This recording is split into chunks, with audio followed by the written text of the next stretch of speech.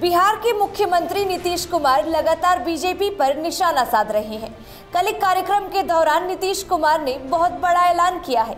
उन्होंने बीजेपी पर हमला बोलते हुए कहा कि अब जीवन में कभी भी बीजेपी के साथ नहीं जाएँगे। नीतीश कुमार ने बिना नाम लिए पीएम नरेंद्र मोदी और गृह मंत्री अमित शाह पर निशाना साधते हुए कहा कि अब अटल आडवाणी की बीजेपी नहीं है। सरकारी इंजीनियरिंग कॉलेज का उद्घाटन करने समस्तीपुर पहुँचे नीतीश कुमार ने वर्तमान बीजेपी नेतृत्व पर अहंकारी होने का आरोप लगाया।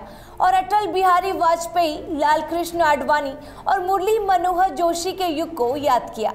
सीएम नीतीश कुमार ने कहा कि पहले हम बीजेपी के साथ थे, लेकिन अब हम उनसे अलग हो गए अटल बिहारी वाजपेयी जी लाल कृष्ण आडवाणी जी और मुरली मनोहर जोशी भाजपा के संस्थापक और प्रमुख नेता रहे हैं। हमने उनके साथ केंद्र सरकार में भी काम किया। साल उन्नीस में अटल जी ने अपनी सरकार में हमें मंत्री बनाया। हमने तीन विभागों के दायित्वों को संभाला। अटल जी के दौर में ढंग से काम होता था।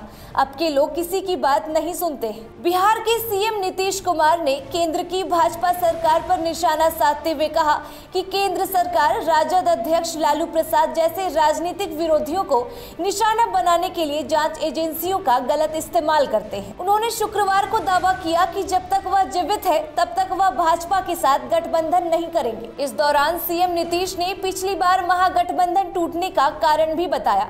उन्होंने कहा कि पिछले बार जब बिहार में महागठबंधन की सरकार थी, बीजेपी वाले झूठे आरोप लालू यादव पर लगाए थे। मामले में कुछ नहीं हुआ।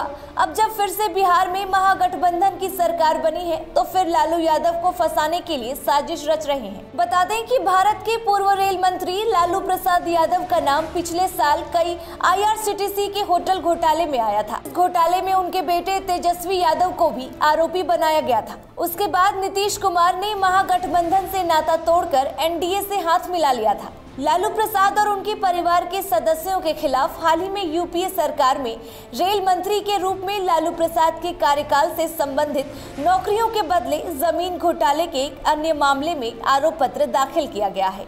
इसी के साथ इस वीडियो में बस इतना ही। देश और दुनिया से जुड़े तमाम अपडेट्स के लिए देखते रहें द वी इंडिया